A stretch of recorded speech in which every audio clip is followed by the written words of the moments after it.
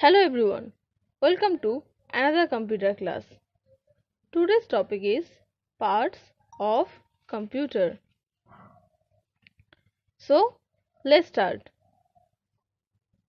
Basically, computer has four main parts monitor, keyboard, mouse, and CPU. Each part has a special function. You have already learned about them in previous class. So let's discuss their functions. So let's start with monitor. Monitor. Monitor is a device that displays words and pictures. It is also called Visual Display Unit or VDU. Keyboard. It has many buttons called keys. It is used to type numbers, letters and other symbols.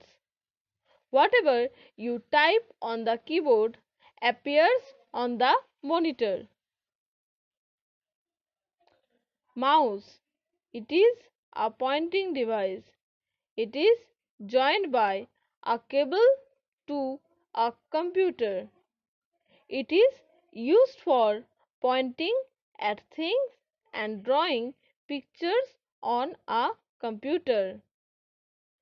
It is also used for selecting things on computer. Wireless mouse and keypad are also available in market.